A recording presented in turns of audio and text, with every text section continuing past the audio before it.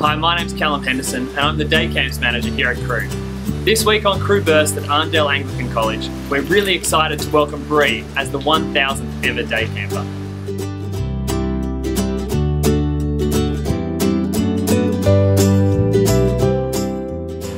My full name is Bree Layton.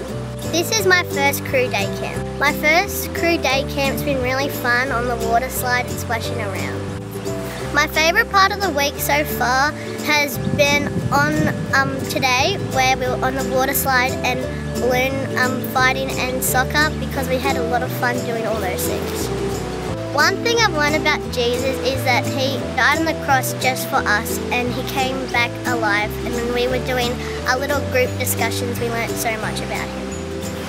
I certainly want to come on another CRU day camp because they're so much fun and I think everyone should go on one.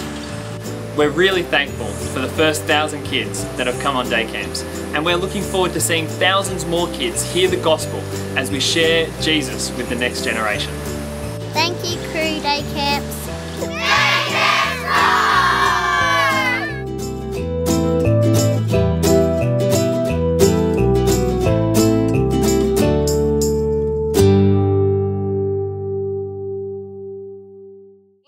What I'm going to do when I get home, I'm probably going to show all my family and Mum's probably going to take a picture of me and put it on her Facebook and then I'm probably going to hang it on my